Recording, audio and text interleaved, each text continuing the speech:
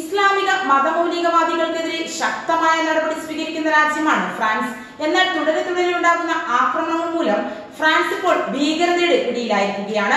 ദിവസങ്ങളുടെ ഇടവേളയ്ക്ക് ശേഷം വീണ്ടും ഭീകരാക്രമണം ഉണ്ടായതിനെ തുടർന്ന് രാജ്യത്ത് കനത്ത സുരക്ഷയാണ് ഒരുക്കിയിരിക്കുന്നത്. പള്ളികൾക്കും സ്കൂളുകൾക്കും മുന്നിൽ ആയിരക്കണക്കിന് സുരക്ഷാ വിന്യസിച്ചിരിക്കുന്നത് ഫ്രാൻസിലെ നീസ് നഗരത്തിൽ നടന്ന ഭീകരാക്രമണത്തിൽ ഒരു സ്ത്രീയുടെ തലവെട്ടുകയും നിരവധി പേർക്ക് പരിക്കേൽക്കുകയും ചെയ്ത സംഭവത്തിന് പിന്നാലെയാണ് ഫ്രഞ്ച് സർക്കാരിന്റെ പുതിയ നടപടികൾ. വിവാദ കാർട്ടൂൺ ക്ലാസ്സിൽ കൊണ്ടുവന്നതിന്റെ പേരിൽ പാരീസ് നഗരപ്രാന്തത്തിൽ ചരിത്രാധ്യാപകനായ സാമൂൽ പാറ്റി കൊല്ലപ്പെട്ടിട്ട് രണ്ടാഴ്ചയ്ക്ക് ശേഷമാണ് രാജ്യത്തിന്റെ മറ്റൊരു കോണിൽ ഞെട്ടിക്കുന്ന ആക്രമണം ഉണ്ടായിരിക്കുന്നത്. ട്യൂണീഷ്യൻകാരനായ ഇരുപത്തിയൊന്നുകാരനാണ്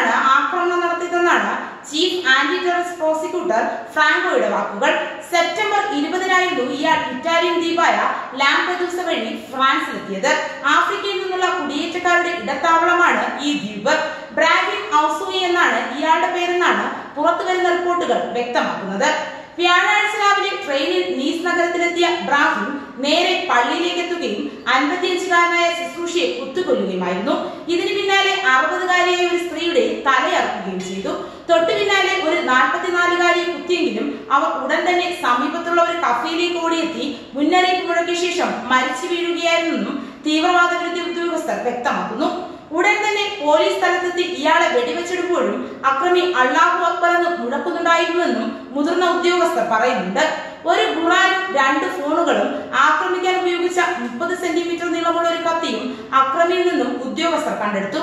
അതിനു പുറമെ ഇയാൾ ഉപേക്ഷിച്ച മറ്റൊരു ബാഗിൽ നിന്ന് ഉപയോഗിക്കാത്ത രണ്ട് കത്തികൾ കൂടി കണ്ടെത്തിയതായും പ്രതിയായ യുവാവ് ഗുരുതരാവസ്ഥയിൽ ചികിത്സയിലാണെന്നും ഉദ്യോഗസ്ഥർ വ്യക്തമാക്കുന്നു. എന്നാൽ ഇയാൾ തീവ്രവാദി പട്ടികയിലുണ്ടായിരുന്ന ആളല്ലെന്നാണ് ടുണീഷ്യൻ ഭീകരവിരുദ്ധ കോടതി വക്താവ് ഡാലി പറയുന്നത്.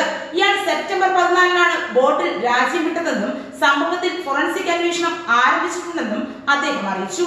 എന്നാൽ നീസിലെ സംഭവം പാരീസിലെ അധ്യാപകന്റെ കൊലപാതകത്തിന് സമാനമാണെന്നായിരുന്നു മേയർ ക്രിസ്റ്റീൻ എസ്ട്രോസിയുടെ പ്രതികരണം.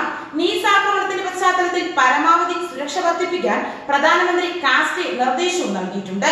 അതേസമയം ഫ്രാൻസിന്റെ മൂല്യങ്ങൾക്കും സ്വാതന്ത്ര്യത്തിനും മേലാണ് ആക്രമണം നടന്നതെന്നും പിന്മാറില്ലെന്നുമാണ് ഫ്രഞ്ച് പ്രസിഡന്റ് ഇമ്മാനുവൽ മാക്രോയുടെ പ്രതികരണം. വിശ്വാസത്തിനായുള്ള സ്വാതന്ത്ര്യത്തിന് ഈ നാടിനുള്ള കഴിവിന്റെ പേരിൽ ഫ്രാൻസിന്റെ മൂല്യങ്ങളും സ്വാതന്ത്ര്യത്തോടുള്ള താല്പര്യവുമാണ് ആക്രമിക്കപ്പെട്ടതെന്നും അദ്ദേഹം വ്യക്തമാക്കി. ഫ്രാൻസ് നേരിട്ട തീവ്ര ഇസ്ലാമിക തീവ്രവാദ ആക്രമണത്തെ അപലപിച്ച് നിരവധി രാജ്യങ്ങളാണ് രംഗത്ത് വന്നത്. ആക്രമണത്തിൽ അപലപിക്കുന്നതായും സഖ്യരാജ്യമായ ഫ്രാൻസിനെ പിന്തുണയ്ക്കുന്നതായും U S president Donald Trump അറിയിച്ചു. ഇന്ത്യയും ഫ്രാൻസിന് പിന്തുണയുമായി രംഗത്ത് വന്നിരുന്നു. നീസിൽ ഫ്രാൻസിൽ ഈ അടുത്തുണ്ടായ ഭീകരാക്രമണങ്ങളിൽ അപലപിക്കുന്നുവെന്നും ആക്രമണങ്ങളിൽ കൊല്ലപ്പെട്ടവരുടെ കുടുംബാംഗങ്ങളുടെയും ഫ്രാൻസിലെ ജനതയുടെയും ദുഃഖത്തിൽ പങ്കുചേരുന്നുവെന്നും തീവ്രവാദത്തെ നേരിടാൻ ഇന്ത്യ ഫ്രാൻസിനൊപ്പം ഉണ്ടാവുമെന്നും പ്രധാനമന്ത്രി നരേന്ദ്രമോദി ട്വീറ്റ് ചെയ്തു.